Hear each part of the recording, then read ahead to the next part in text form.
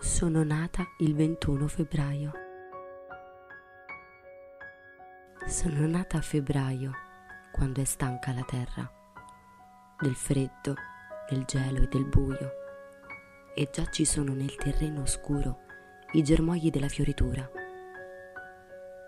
Sono nata rattrappita, stanca e infreddolita.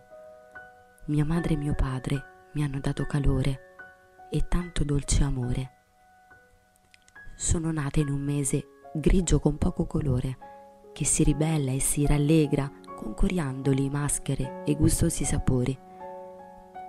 Sono nata a febbraio, l'ultimo di carnevale.